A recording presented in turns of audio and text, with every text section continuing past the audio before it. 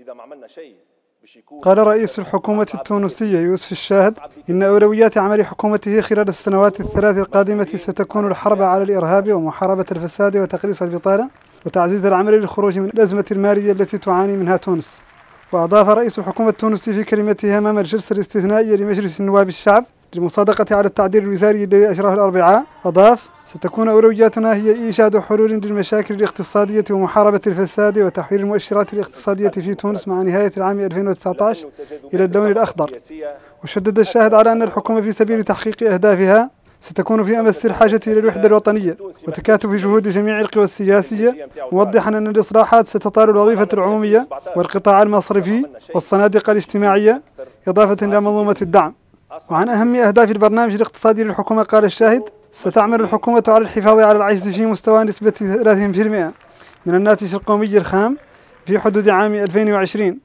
وستحافظ على استقرار المديونية والوصول بها إلى نسبة 70% من الناتج القومي الخام لنفس العام.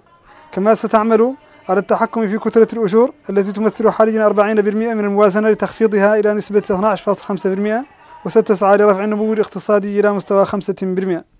وكان رئيس الحكومة التونسية يوسف الشاهد قد أجرى تعديلا وزاريا على حكومته يوم الأربعاء الماضي شمل حوالي نصف الحقائب الوزارية كما أضاف سبعة كتاب دولة بعد نحو عام على ترأسه للوزارة.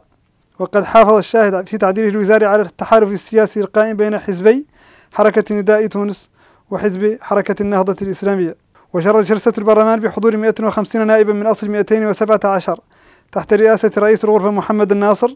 الذي أكد في كلمته الافتتاحية أن الحاجة اليوم ماسة في تونس لتعبئة كل القوى وتوحيد الصفوف لمواجهة التحديات واستكمال مسار توفير مستلزمات التنمية.